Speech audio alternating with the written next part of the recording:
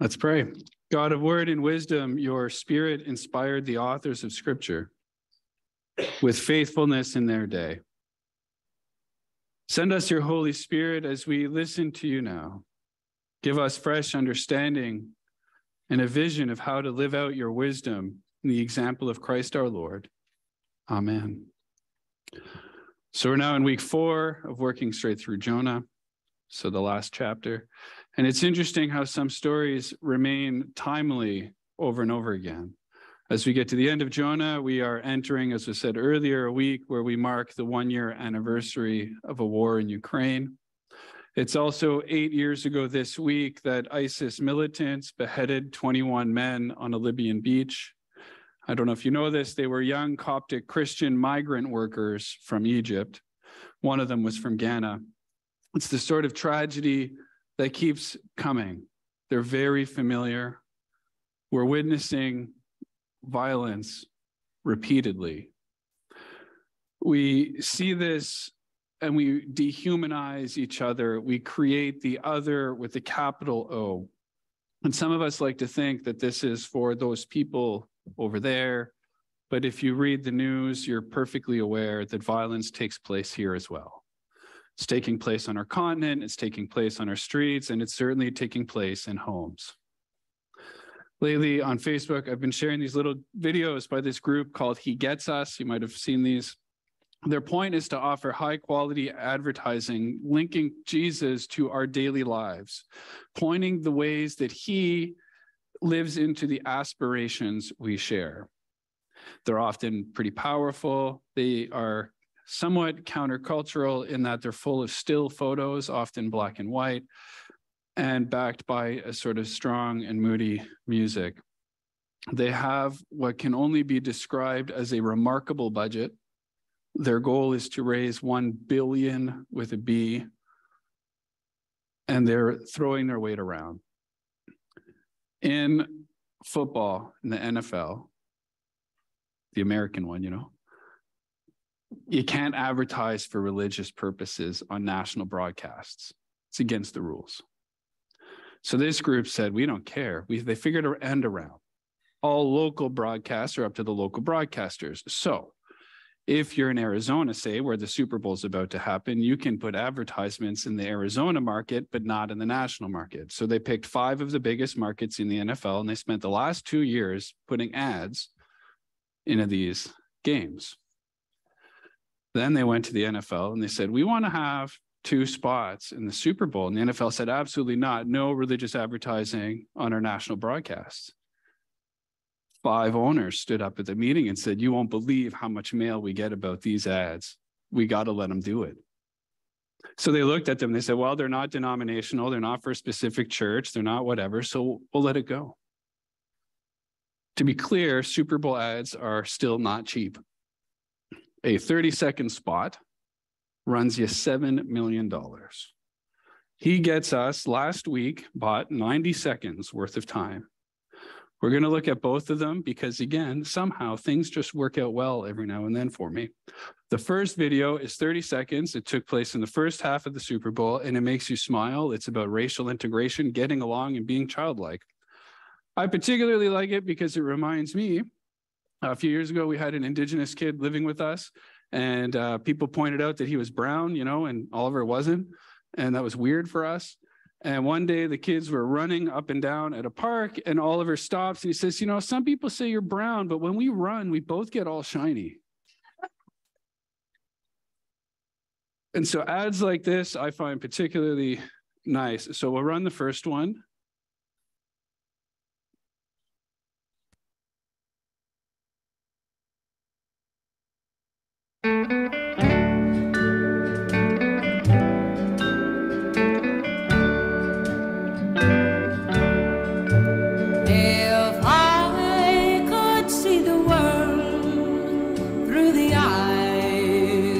of a child.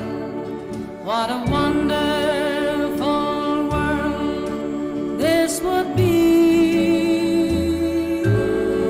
There'd be no trouble and no. So they, they spent $7 million to put that out in the world. Well, that's just the time, right? The Agua people, very smug, right? Don't we love this one? Aren't we good people? We Christians, we're so lovely. We're childlike.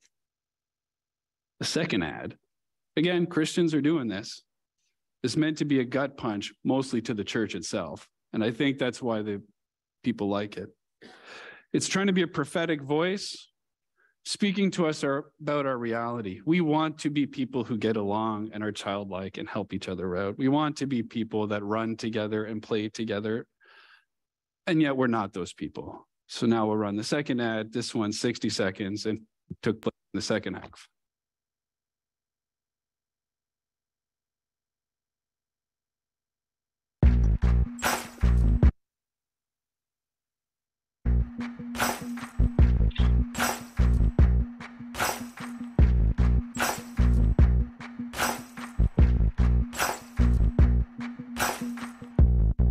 Maybe I'm foolish, maybe I'm blind, thinking I can see through this and see what's behind. Got no way to prove it, so maybe I'm lying. Take a look in the mirror, what do you see? Do you see it clearer, or are you deceived in what you believe? Cause I'm only human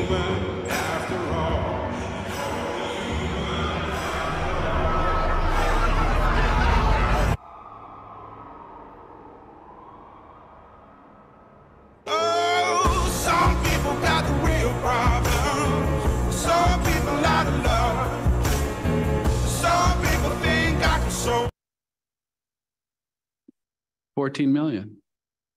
And people are talking.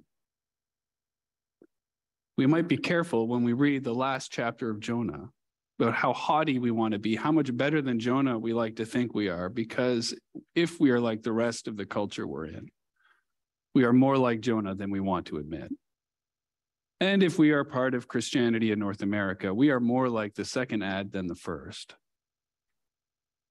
Jonah does not come off well in a book that bears his name.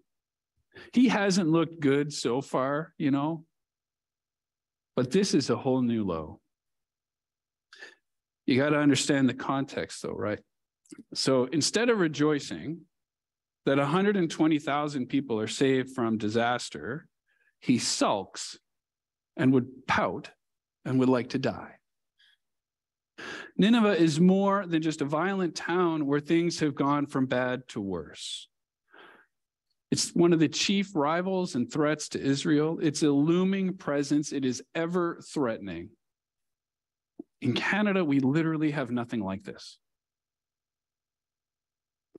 Many scholars argue that Jonah was probably right. Within about 40 years, the northern kingdom of Israel gets ransacked. There's rape, there's fire, there's famine, and lots of grisly death at the hands of the Ninevites. So when Jonah sits on the outside of town and says, These are the last people I want to see you be compassionate and faithful to, he has very good reason for that. And he will be proven right. He would like to see them brought to their knees. I would dare suggest there are many groups of people that we feel that way about, whether we want to admit it or not. The analogy is the second video, right? Look at the anger, the hate in some of those people's faces. They are normal people. They're average people. They take their kids to swim lessons. They buy their grandkids ice cream. And then they wind up in an ad like that. Regular people feel this way. Many feel it about Russia now, right? If you're in Ukraine, I don't imagine it's easy to pray for peace for Russia, pray for mercy.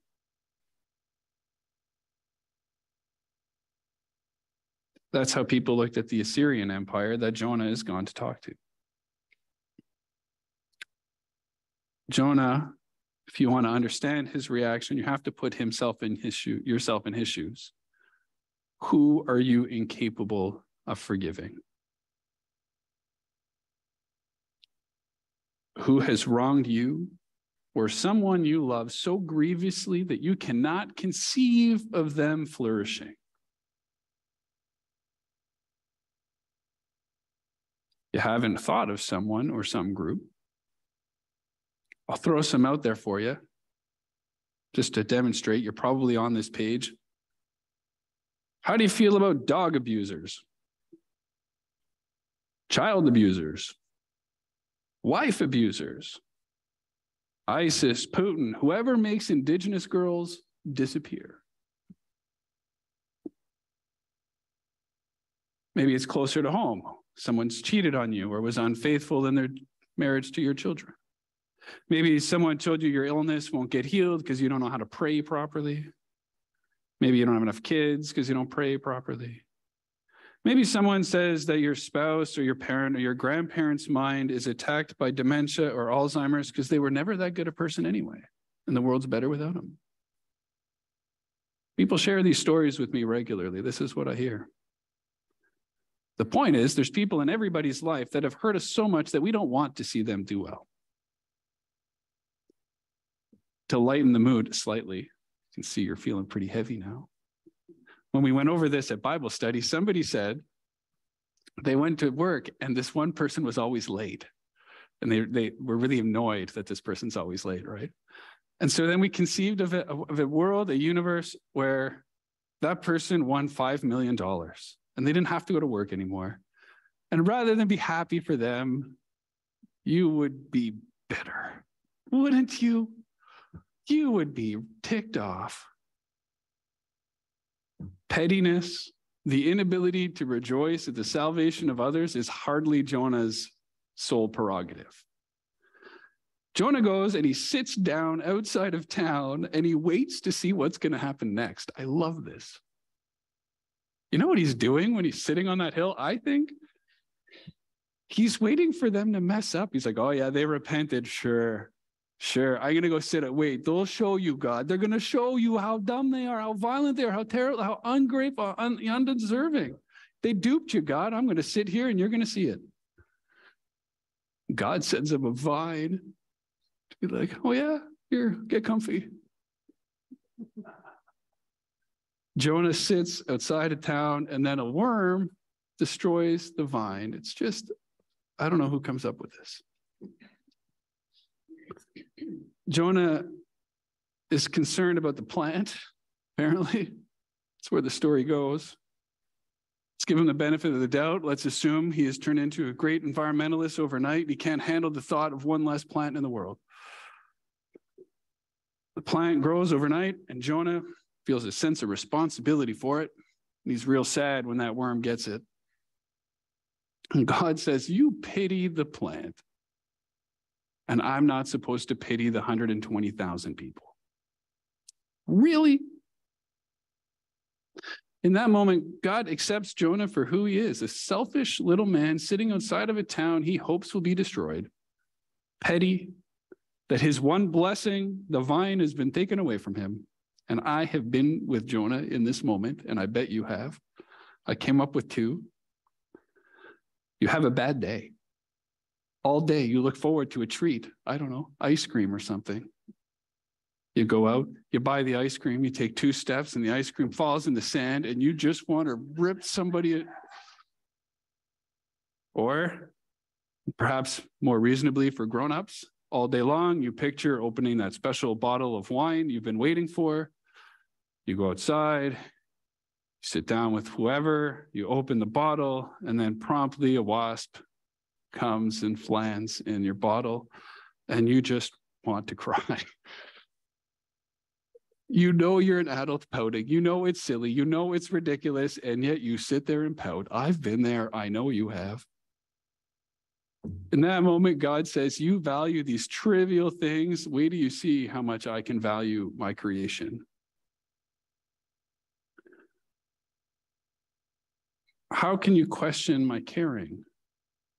Of something of such greater value, something I've worked for, put time into, cared for. Can't you see in those moments, whatever that sense of disappointment and love is, that's what I'm relating to all of creation, and you don't have to like them.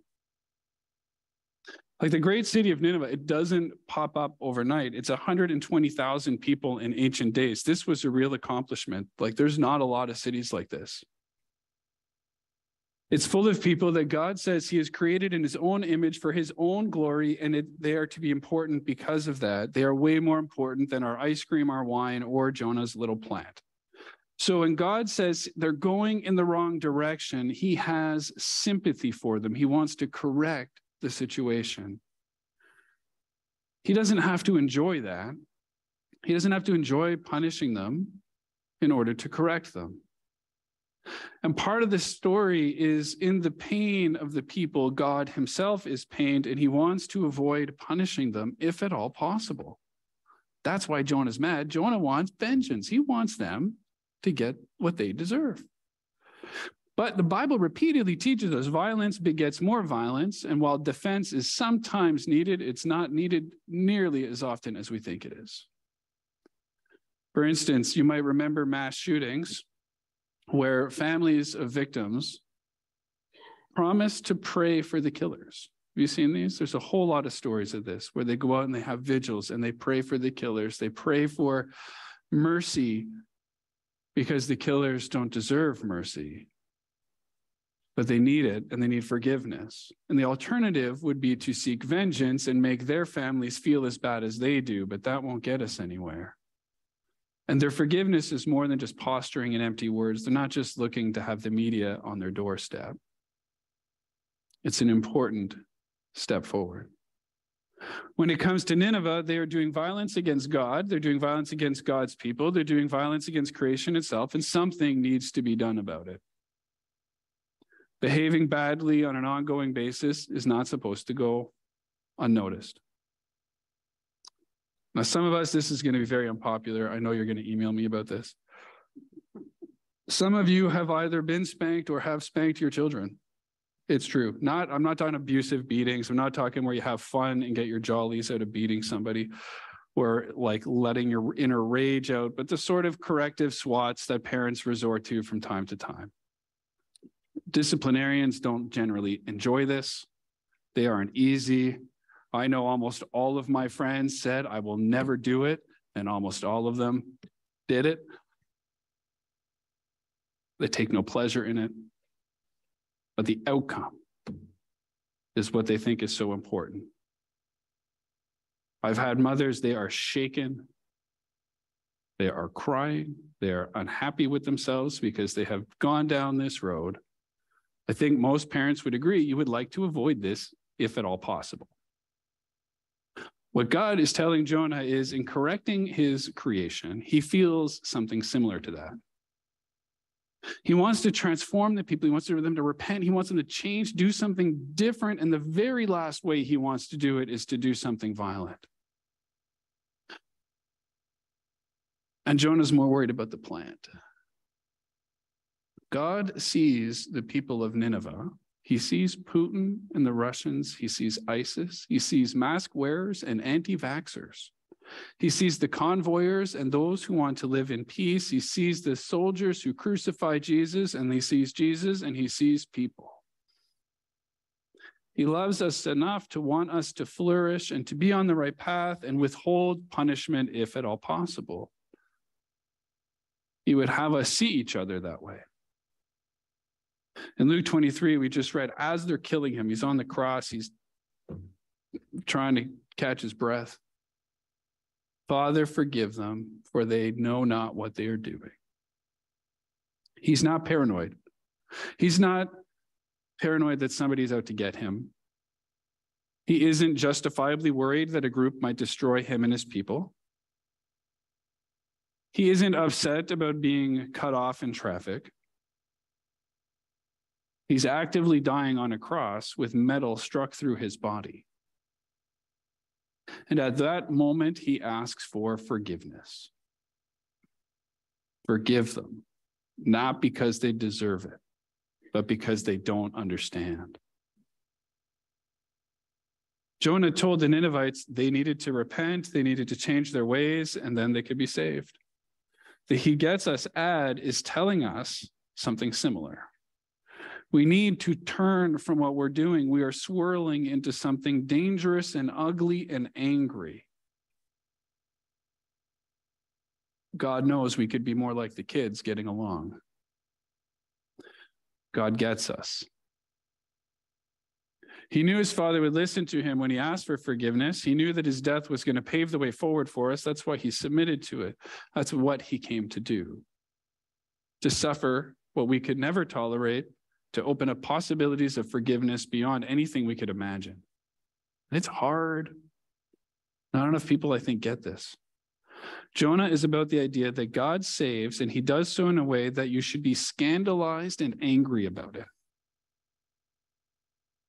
He's generous in forgiveness. All proper company should be really mad at this. Grace is to bless and offend you at the same time. And if it's not, you're not understanding it. Grace means that what you have done is just as bad. You might minimize it, you will ignore it. You can be impatient and then get mad at somebody else's impatient. You can speed on the highway and then get mad when somebody else speeds. You can run a light and then get mad when somebody else runs the light. You can bring your library book back late, but the other person can't. Whatever it is, the double standard is true in us. Grace means that matters. You can explain it away, but it's still there. It also means that God saves it saves the men in the sea. He saves Jonah. He saves the Ninevites. He saves you. We like that part. But he also saves the dog abuser. He also saves the people that yell at you.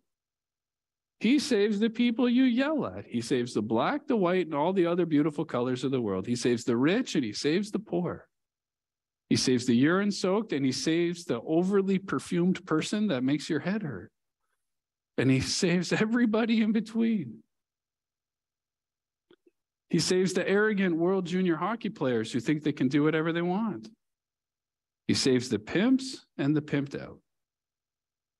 He saves the straight, the LGBTQI plus. He saves the people who hurt you, hurt your families. Saves all of them. That's the story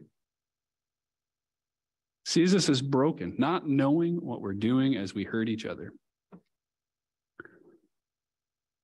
And then it gets worse. Luke 6, I say to you, love your enemies. Do good to those who hate you. Bless those who curse you. Pray for those who abuse you. Can you imagine? You don't want to let this slide. You don't want to let it go. This is where the church fails. This is why churches close. We ignore this stuff. We don't get it. You have to get it. I'm going to pray in a minute. I, am going to pray that we would be agents that break cycles of violence, break cycles of dehumanization, break the cycle that makes others an O with a capital O. Pray that we would see each other as shiny when we sweat alongside of each other and pray that we would see people the way God does, made in his image, whether we like them or not, whether we like what they're doing or not. Let's pray about it. Father, we thank you for all that you do. Lord, we pray for patience to overcome our own pettinesses. Lord, we pray that we would not be pouting, but that we would be grateful and thankful Lord, we pray that we would overcome the pride, the ego, all that comes between us and those you love. Lord, it is not easy. Lord, sometimes people find it so hard to do this. We have to pray for them. So I, I want to pray, Lord, for the people in Ukraine. I can't imagine how they pray for the Russians right now. And yet Jonah has to go pray for the Ninevites. God, tear down the barriers, the borders, the things that are coming between us. Help us to see the humanity in one another and help us to see the godliness in one another. Help us to see our own need for forgiveness and help us to accept the forgiveness and then to share it with others. Lord, none of this is possible. I can't do it. None of us in this room can do it. Through your spirit, we can do it. And so, Lord, would your spirit come upon us and upon all your churches, that we would be more like the childlike version of the world than the adult. We pray it all in Jesus' most powerful name. Amen.